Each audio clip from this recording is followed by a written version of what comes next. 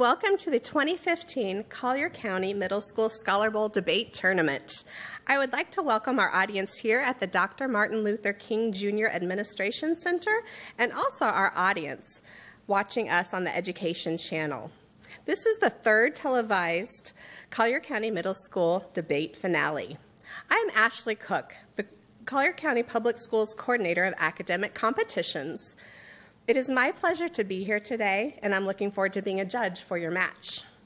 The debate program is designed to recognize and challenge Collier County's academically talented middle school students. Each team competes to persuade a panel of citizen judges to vote for its side of the resolution. This is done through a series of speeches and crossfires that are also known as debates. We use the public forum debate format. The public forum debate format has each team develop both a pro and con case. To support their side of the case, students use effective persuasion evidence, which may include a mix of facts, statistics, expert quotations, studies, and polls. Students may also include relevant real life examples, anecdotes, analogies, and personal experiences. Then it is up to the judges to simply decide, disregarding all previous ideas and notions about the subject, which side was, in the end, the most persuasive. During the entire process, this program helps students practice and focus on important education and life skills. They are required to pull key ideas and details from texts, write and deliver arguments to support claims, integrate and evaluate information orally, evaluate a speaker's point of view, and adapt speech to a variety of communication tasks. Our other goals include promoting rigor, confidence, presentation skills, higher order thinking ability, and academic fun.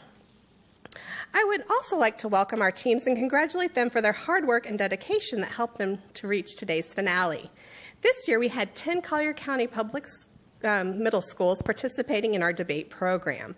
The students have been practicing with their amazing coaches all year. This morning, the top four teams from the practice match this year competed in two more matches. Those were East Naples Middle, North Naples Middle, Oak Ridge Middle, and Pine Ridge Middle. The top two teams from those matches were invited back to compete now in this finale. Let's go ahead and meet our two teams who will be participating for uh, first and second place district-wide. We will start with our team from East Naples Middle. I would like to introduce you to the coach, Jorge Nieves Chevalier. All right, let's introduce the East Naples Middle School debate team. Here I have Anna Traylor. She is an eighth grader who has also competed in Scholar Bowl, and this is her first year with debate. I have Logan Zitai, who has also competed in Scholar Bowl. This is his second year with our debate team. He is a seventh grader. And I have Taylor Brewer, who is an eighth grader, has done track, and she has competed in debate for two years. Okay, great. Thank you very much. Our second team is from North Naples Middle School. They were coached by Kathleen Piper. I am proud to oh. um, introduce. Oh, yeah, I need a microphone. proud to introduce. This is Kylie Campbell. She's a sixth grader. This is her first year in debate. She is also an active member of our school's student council. We have Cynthia Paget. She is a seventh grader. It is her first year on debate, and she is very active in track and other sports activities. And we have Lexi Piper. This is her third year in debate, and outside of school, she enjoys acting. Okay, thank you very much. Um, good luck to both of our teams. Now let's meet the judges for this match. They will introduce themselves and let you know if they're representing any organizations. Theron Trimble, representing the Florida Council for the Social Studies. Kathy Ryan, retired Collier County educator representing the American Association of University Women. Laura Perry, Gifted Curriculum Specialist, Advanced Studies and Gifted Learners Department for Collier County Public Schools. I'll let you know we have the best judges, the best volunteers um, in our program, so thank you all for being here. As we begin our match, I would like to give you a quick overview of what to expect. The three debaters from each team will take turns giving a speech and then participating in a crossfire. We then move to the summary rebuttal speeches and the grand crossfire, which includes all students. The final focus will end the debate as a debater from each team will sum up the team's position. For this final match, the students will be debating this resolution. Resolved. With current levels of sustainable practices, the future of water in the United States is secure. Students, do you have any questions before we begin? Okay. Um, just before the match started, we um, conducted a coin toss which decides which team will be pro, which will be con, which will be first, or which will be second. That determined that East Naples Middle will take the pro stance and North Naples Middle will take the con stance. It also determined that East Naples Middle will speak first and North Naples Middle will speak second. Again, the resolution resolved with current levels of sustainable practices the future of water in the United States is secure. Okay, I'll give you a moment to get ready, um, teams, and then I'll, I'll turn the podium over to you. Again, best of luck.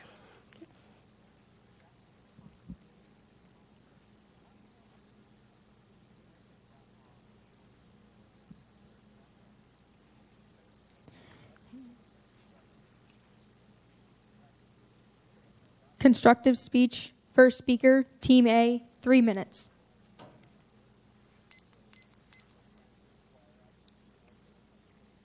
Hello, my name is Anna Chuller, and I'm representing East Naples Middle School. I believe that with current levels of sustainable practices, the future water in the United States is secure. According to drinktap.org, water conserving fixtures installed in the United States households in 1998 alone have saved 44 million gallons of water every day. These new fixtures, such as faucets, shower heads, toilets, dishwashers, and clothes washers, save more than half of the water old models, old models used previously. One program that contributes greatly to this household water conservation is WaterSense. Even bigger than the faucets and household appliances, we have no more Dust Bowl effect in the Midwestern regions. We have more crops and better irrigation systems. These irrigation levels haven't been so low since 1965. These irrigation systems have improved, so much in fact, that with that the withdrawals improved from 1965 to 2005, and even in 2013, we had 13% less withdrawals than from 2005. Even in other categories where we use withdrawals, they've been at an all time low since 1970. We, we wouldn't see these levels if the sustainable practices we've been using aren't working. With so much improvement, it is only logically working, and with a 13% improvement in eight years alone, we're doing something right. There are other ways we are conserving water besides high efficiency devices. Why conserve water you don't need to use? This is an idea behind xeriscaping. Xeriscaping is an idea that originated in Colorado and uses planting and arranging plants that don't need as much or as conventional irrigation. Xeriscaping uses these drought ready plants to be able to withstand periods of less water and to more efficiently use the water they are already given. A lot of households use half their water for lawn and plant maintenance. By using xeriscaping, we are using a lot less water in households and thus conserving water by default. Xeriscaping is becoming more and more popular in the drought infested states, especially California. Recently, California has taken many measures to conserve water, and the ones that have already taken effect are extremely effective at, using their, at doing their job. In California, they have tiered water pricing. This means that the more water someone uses, the more it costs them. People realize that that leaky shower head uses water and costs them money, and they fix that faucet, saving water and money at the same time. More things that have been happening in California is that they, use, that they issued civilian restrictions of 25% of what they used in 2013 to be conserved.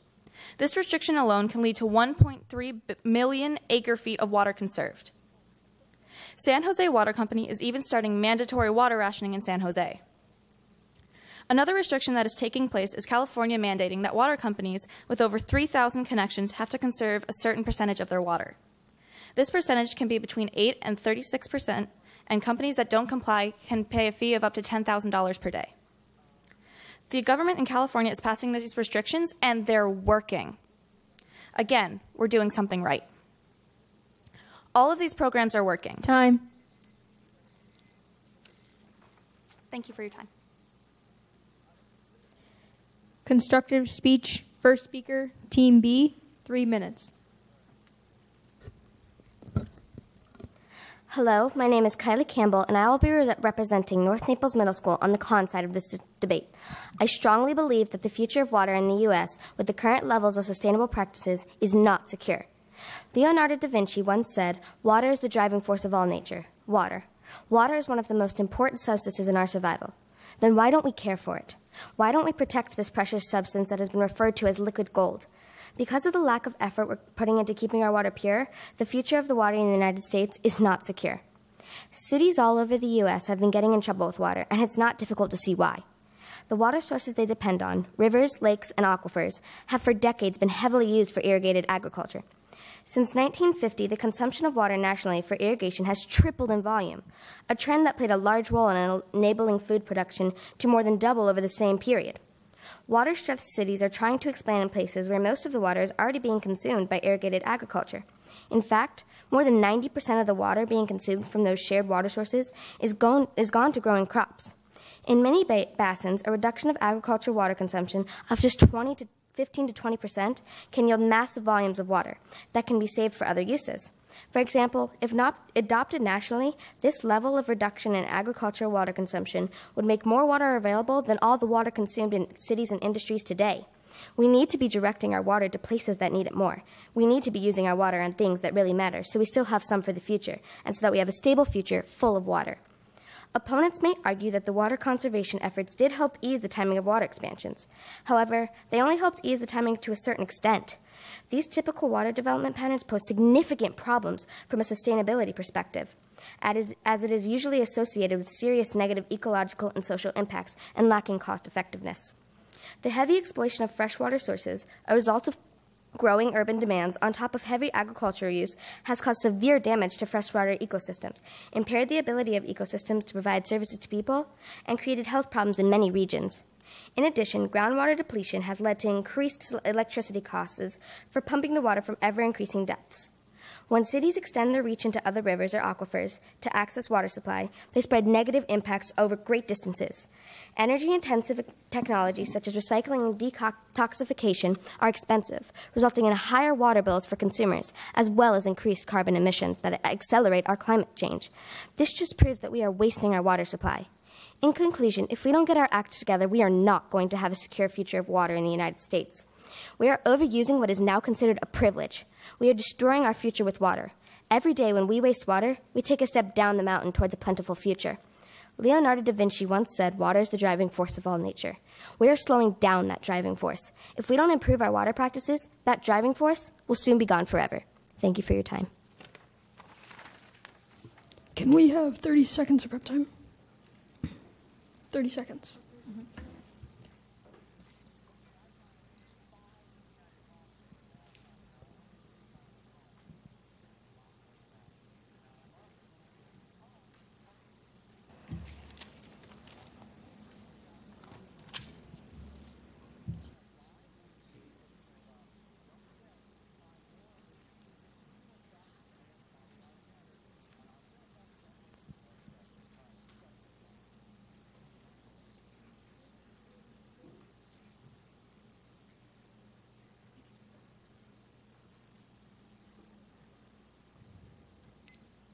Okay, 30 seconds is up.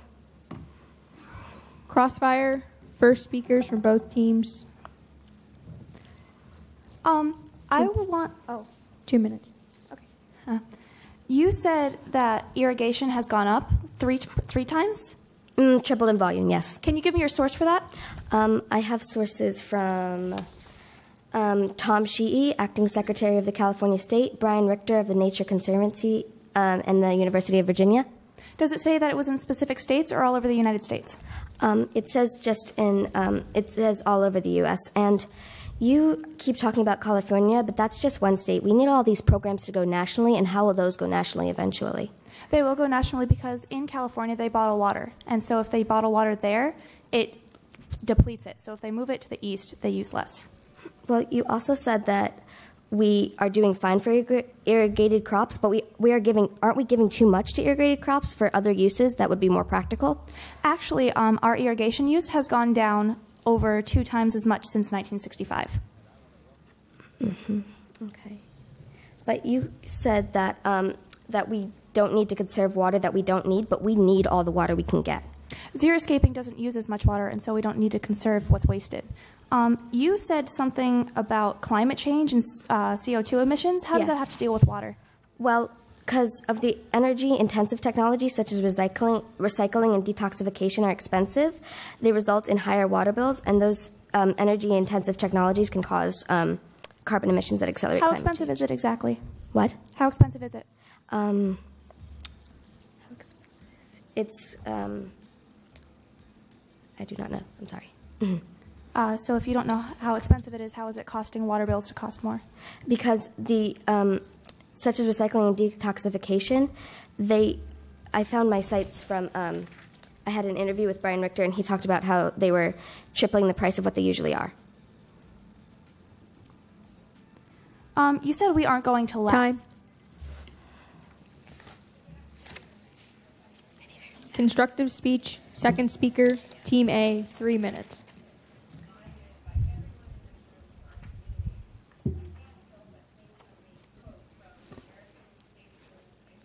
Hello, my name is Logan Zitai. I'm from East Naples Middle School, and I strongly believe that with the practices today, the water in the United States will last us. According to the United States Environmental Protection Agency, EPA for short, managing the supply and availability of water is one of the most critical natural resource issues facing the United States and the world. Homes use more than half publicly supplied water in the United States, which, significant, which is significantly more used than either business or industry. To help American homes and businesses with, with the efficient use of their water, the EPA has invented a, pr- a program called WaterSense, a partnership program.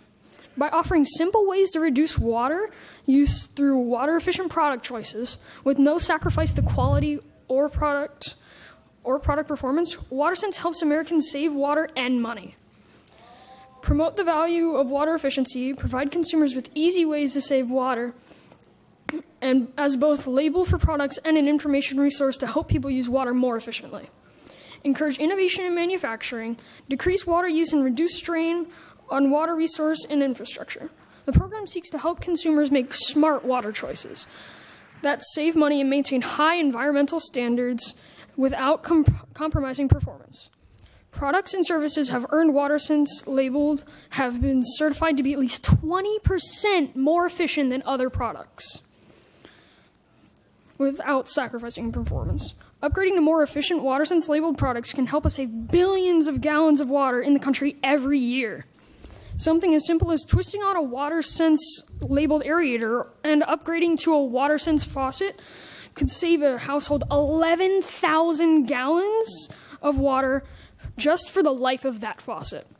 In a study by the United States Geological Survey, USGS for short, water use in the United States in 2010 was estimated to be about 355 billion gallons per day, which was 13% less than in 2005. The 2010 estimates put a total withdrawals at the lowest level since 1970.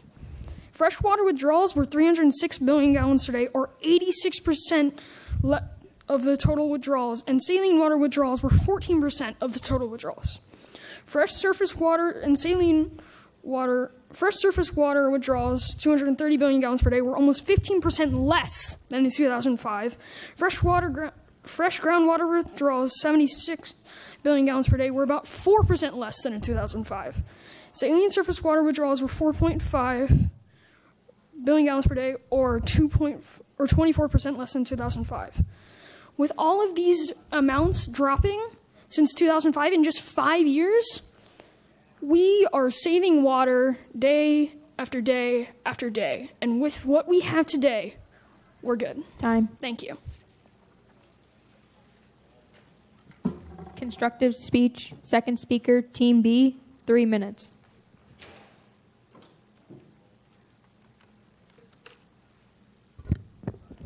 Hello, I am Cynthia Patch and I'm representing Con for this argument.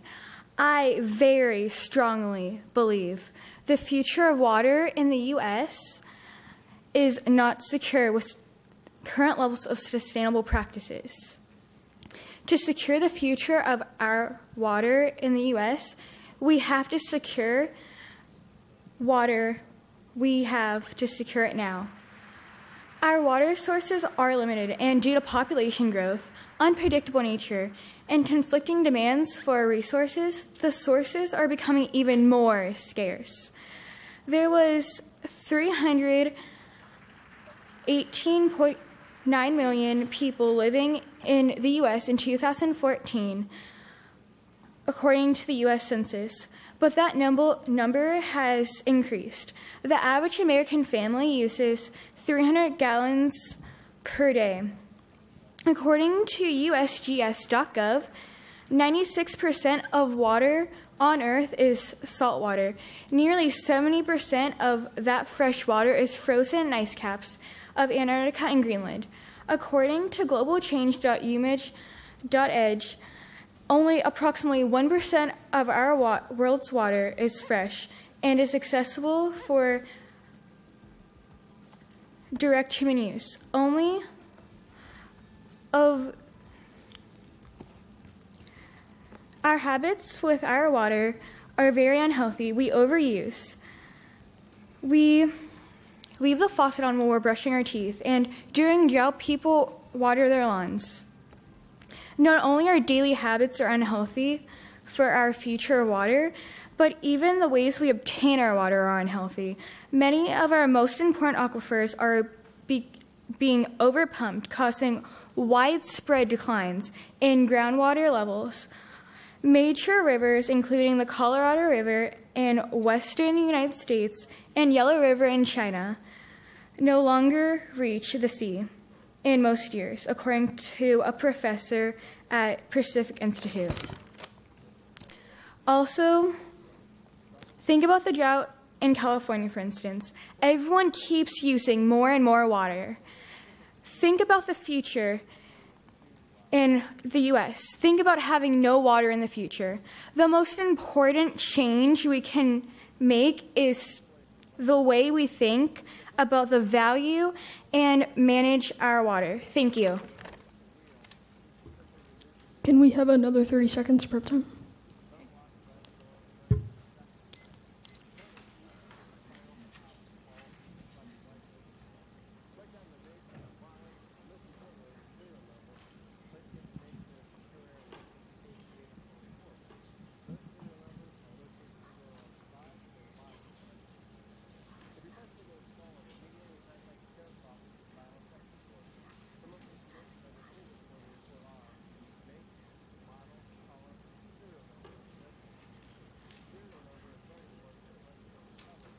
Okay, 30 seconds is up.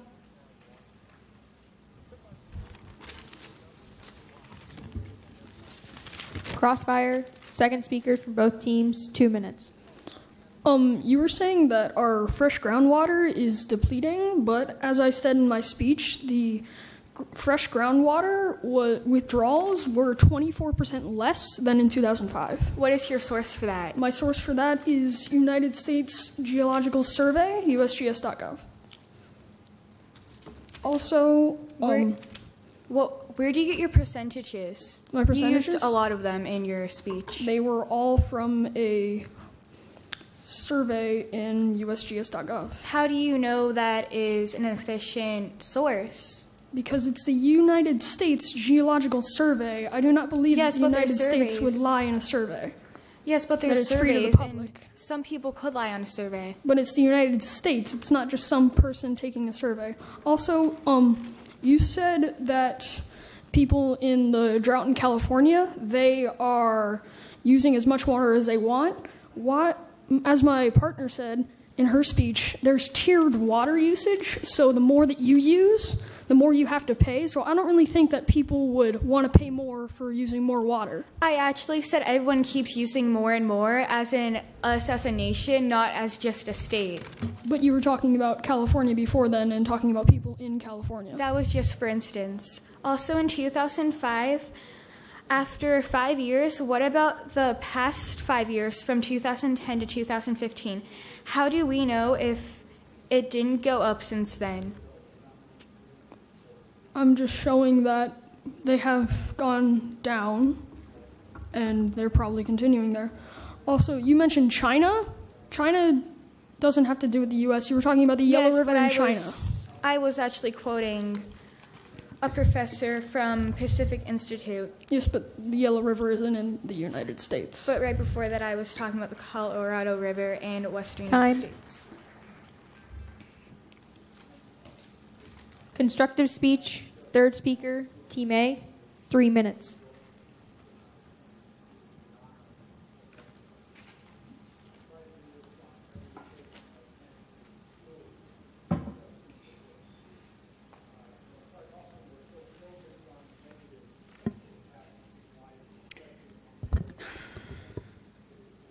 Hello, my name is Taylor Brewer, and I'm representing East Naples Middle School.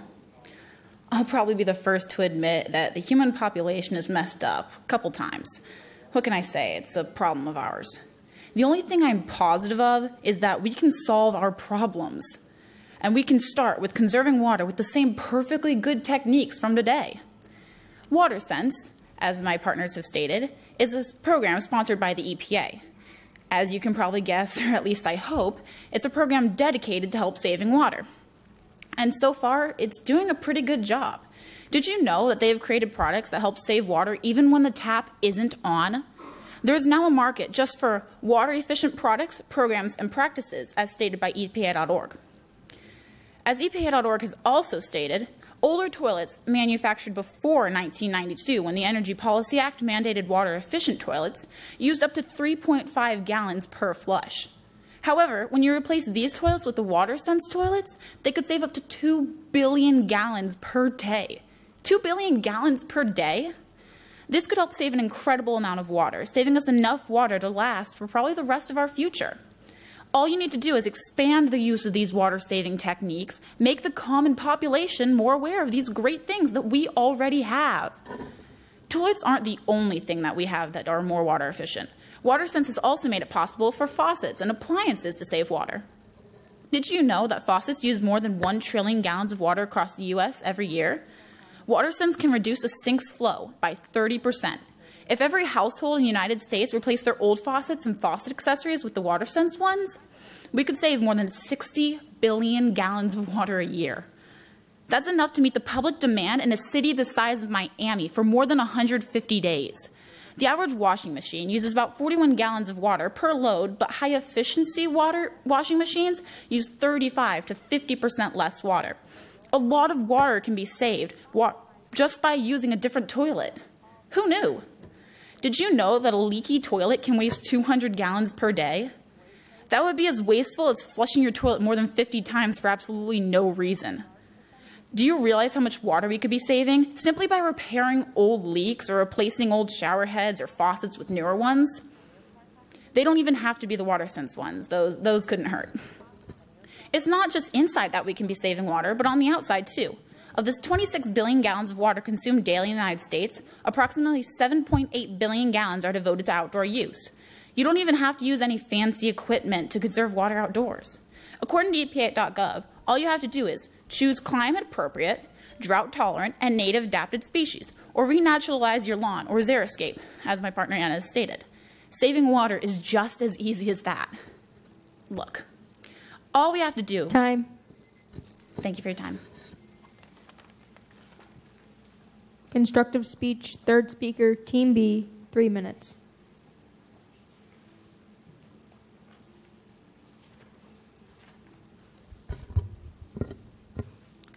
My name is Lexi Piper, and I'm from North Naples Middle School, and I'm debating the con side for this resolution.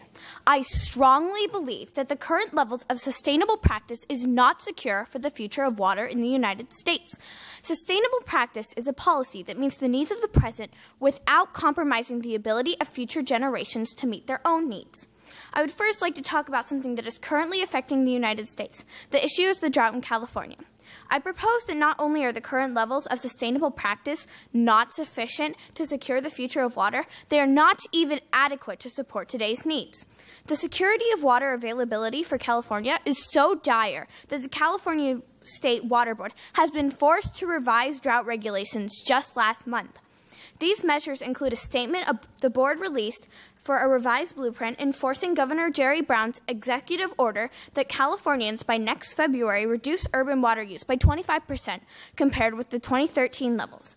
This emergency revision would not be necessary if the current regulations were sufficient. In California, they have a fraction of the amount of water they had last year. Peter Gleick said, the environmental scientist from Yale, said in an interview with USA Today on regard to the drought. All bets are off on the water policy, he said. If the drought goes on for 5, 10, or 20 years, all bets are 5, 10, or 20 years. In the end, we will have no choice but to bring supply and demand back into balance. At the, and the options for new supply are very limited. We've reached the peak of water in most western watersheds, and there's no more water to be had. My opponents would argue that we already have enough to protect this precious liquid gold of life called water, when in fact, most of it is going to big businesses for processes like fracking in California every year. They waste 1 million gallons of fresh water for drilling oil. And the new plan set out by Governor Jerry Brown, it states nothing about cutting down on fracking.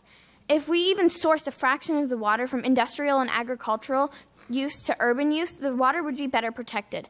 That is why I strongly believe that the current levels of sustainable practices does not secure the future of water. Thank you.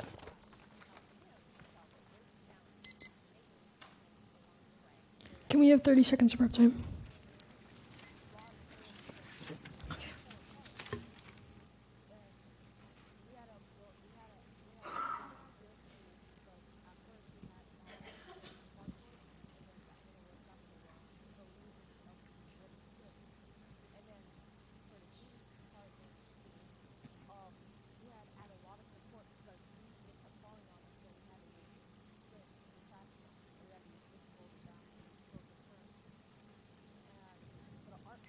Okay, 30 minutes is up.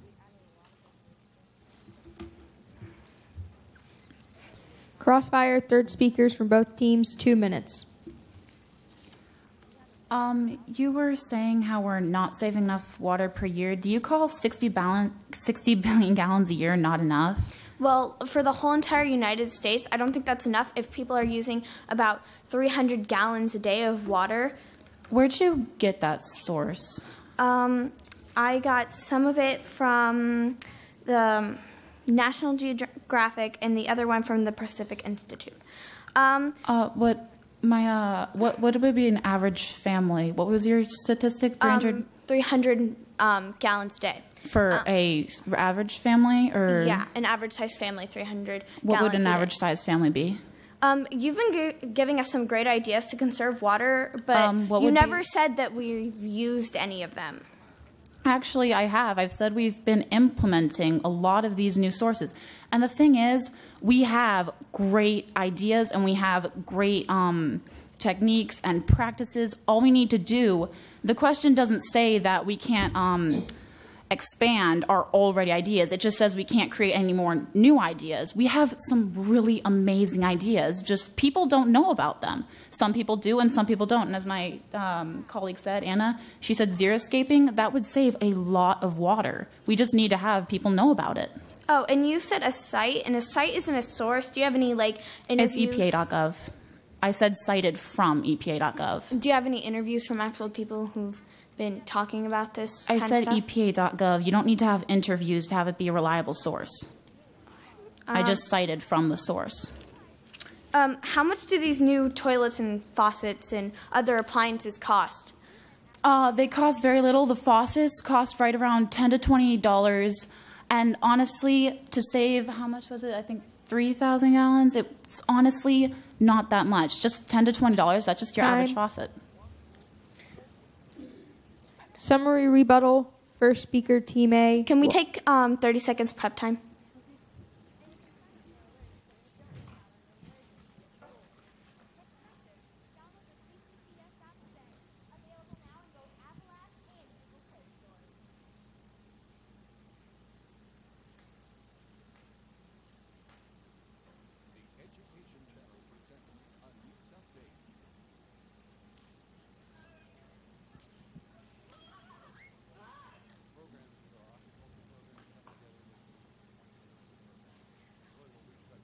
Okay, time's up.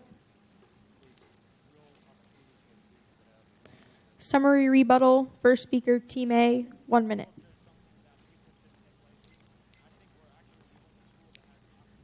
All of these programs that we are implementing are working. We have restrictions in California that are being put in place right now. They are working and they are conserving acres of water. We are uh, conserving waters, and levels, water levels haven't been this low since 1965 to 1970. We have improved, and even today we continue to improve. We are using these programs, they are working, and we have improved our water levels. They continue to improve, and they are projected to continue to improve even further. With all of these happening, well, with all of these things happening and people becoming more aware of the water they're wasting every day with just their faucets, I believe that our water is safe. Thank you.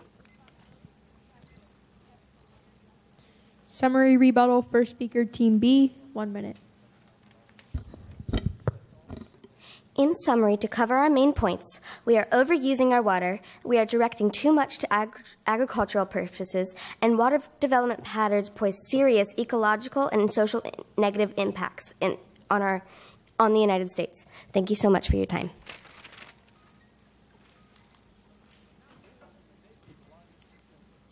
Summary rebuttal, second speaker, Team A, one minute.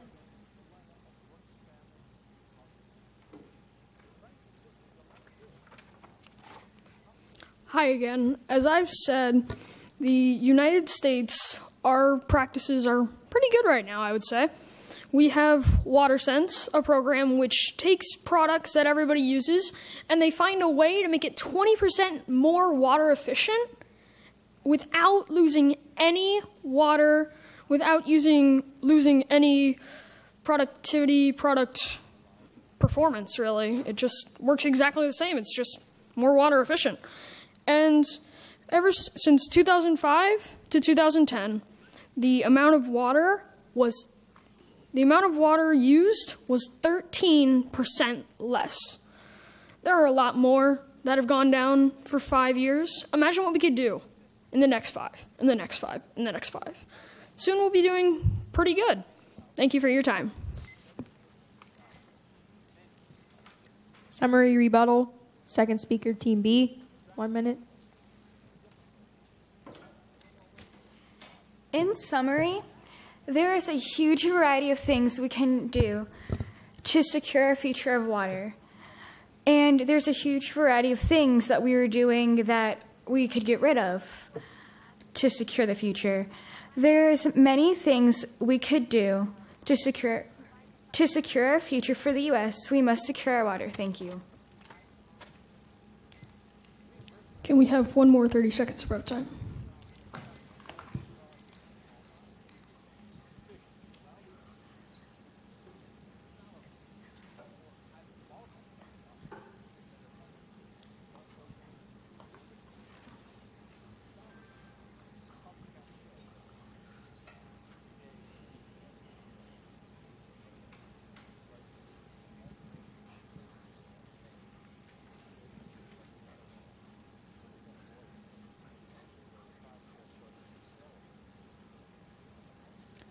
Time's up. Now we have a grand crossfire. All six students, two minutes. Third speaker. Um, um, I wanted to ask. You, my partner here asked you, and you didn't answer. How much is an average family? Um, four people. Um, we found that actually instead of 300 gallons, it's actually 400 gallons per day, a family of four. What's your source for that? My source for that is the Environmental Protection Agency. Um, you said, um, second speaker, that soon we'll be doing pretty good. I thought you were saying that we were already doing good. I'm saying that we're doing good. I I said that we're doing good. I mean that we're going to do better and better and better. The thing is, right now we're doing a great job, but we can only get better. Um, you said, what's your name again? Sorry. Kylie. Okay, Kylie. Um, you said that we're projecting too much water to the agricultural. Yes. How much water is that? Because I mean, I think it's pretty important for us to give water to our food sources. It is, but since 1950, it's tripled in volume how much we are giving our water. Actually, since 1965, it's gone down. But since how much water? What's your source wasting, for that? Uh, USGS. How much stands for United States Geological Survey. And when they say survey, they mean survey of the land, not of people. Uh, um, you, second speaker, you said that we could do things to improve our water. What could we do that we're not doing right now to improve it? We could get rid of like agricultural use. Like, are you saying that we should get rid of our food? No, I'm saying that we could use recycled water for that. We already do. Desaltation, desaltation. Desalination? Yes, I can. That's toxic water. We can't do enough. Where does the salt go when we desalinate it? We take out the minerals and salt of that water. Where does it go after? I do not know that. Um, and first speaker, you keep talking about um, some sort of negative impacts. Impacts. What did you say those were on? Uh, ecological impacts and social impacts. What are those? What exactly is happening that's negative? Um, to, they have caused severe damage to freshwater ecosystems. Uh, what are those Time's impacts? Final focus, third speaker. Um, can we take one minute prep time?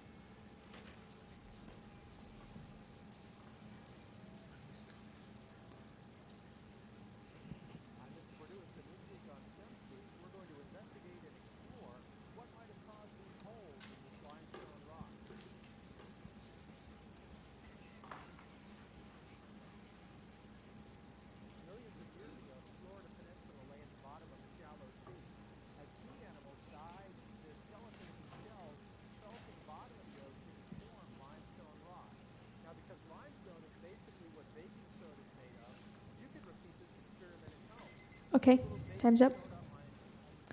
Final focus, third speaker, Team A, one minute.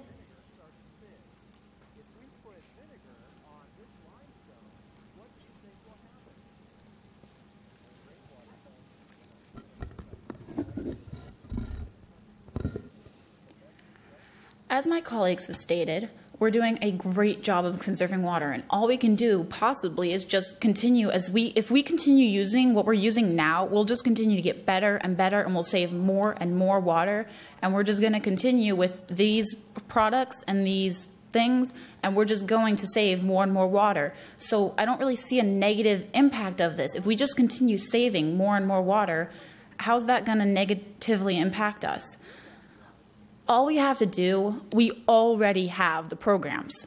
The problem is, not a whole lot of people know about them. Just like the common folks, we need to educate them. We need to say, hey, here's something that works. It's proven to work. Xeriscaping, it works well. We could save 60 billion gallons of water a day or a year just by doing certain small things like changing a faucet or changing your toilet all you have to do is just change those little tiny things, change your lawn. It's not that hard. We just have to make people more aware of what we can do. Thank you. Final focus, third speaker, Team B, one minute.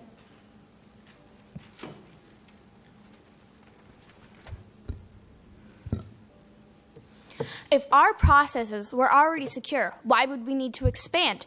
And if we and one faucet won't change the world.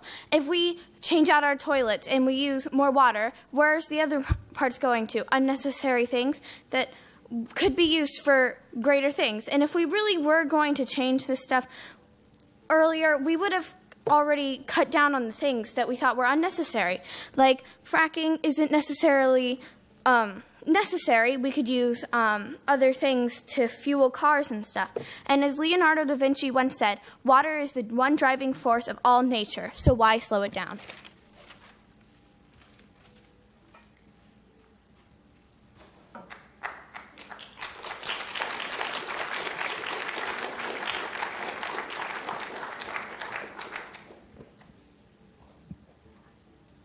Okay, thank you both teams. We, the judges are going to um, deliberate and we'll be right back with you. Good job.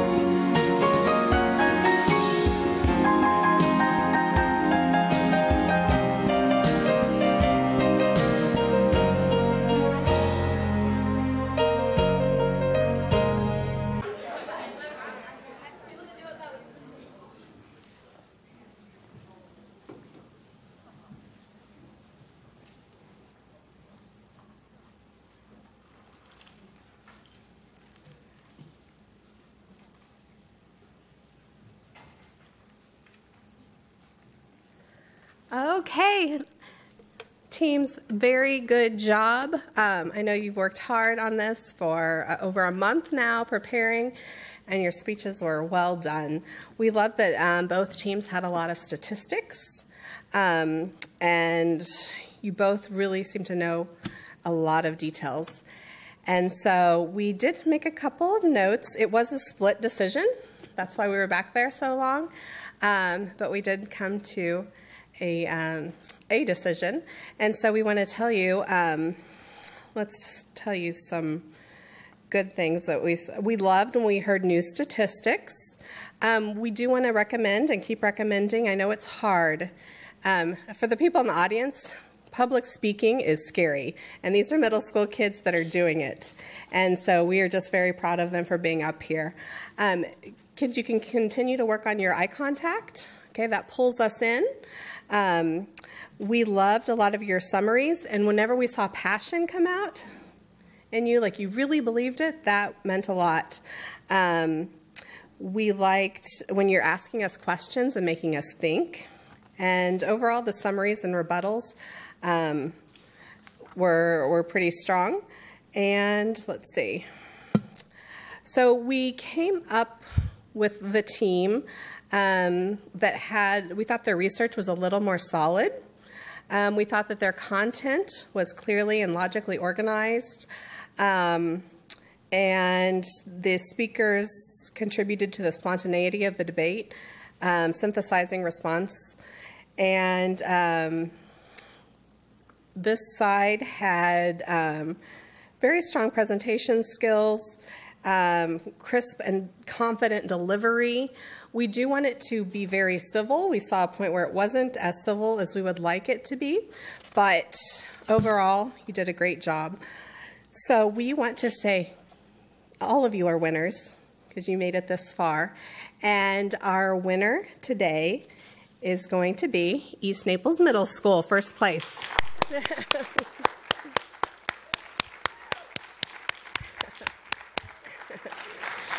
so we have so we have trophies for um, the teams today and again thank you thank you for being students that actually choose to research on your own time and to get up and debate and we're just very proud of all of you so you, thank you both teams you did a great job so Thank you, everybody in the audience, for your support. We appreciate it. Good job, kids. So.